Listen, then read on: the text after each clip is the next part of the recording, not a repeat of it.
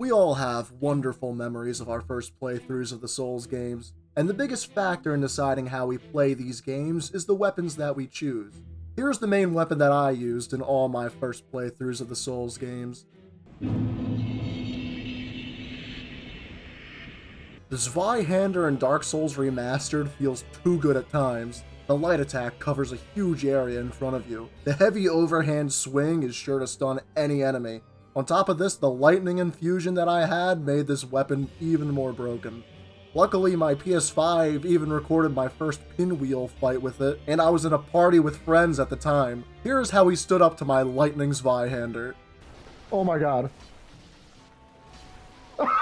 He's dead already! What?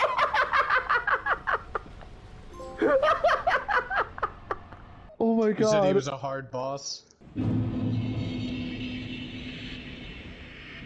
For almost the entire run of Dark Souls 2, I used a plus 10 bastard sword with high ADP and high HP. This is the one I regret using the most. Maybe it's the weapon move set, maybe it was the game. All I know is that I uninstalled this game the second I beat it.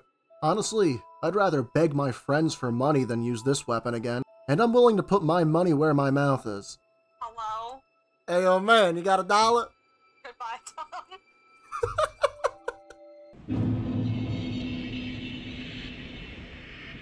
The Uchigatana is an absolute gem of a weapon. The fast move set, the bleed build-up, and the ability to parry make it amongst the best in the series. I wouldn't have it any other way for my first playthrough of Dark Souls 3. Just thinking about it makes me want to go through the entire DLC so I can fight Gael again.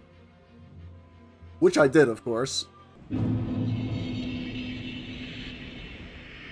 The Saw Cleaver is the first weapon I used, and definitely my favorite starting weapon. I made sure to recommend this one to my sister when we started our first co-op playthrough of the game. What, does it say my name or does it say the Jersey side?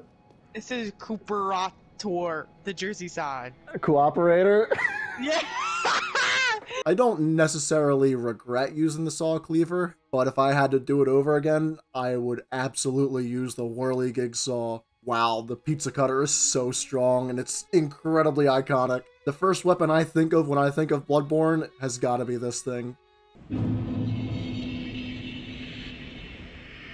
I have done the standard ending to Elden Ring once, the Frenzied Flame ending once, and Ranni's ending a total of 48 times. With that in mind, the Dark Moon Greatsword is by far my favorite weapon. The magic damage and frostbite buildup make chopping through enemies the old fashioned way a breeze. However, the highlight of this beast is the weapon art.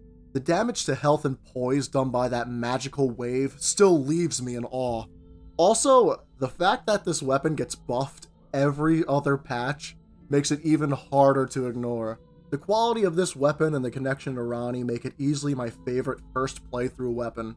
Accounting for that and its legacy throughout the entire series probably makes it my favorite weapon out of all of them.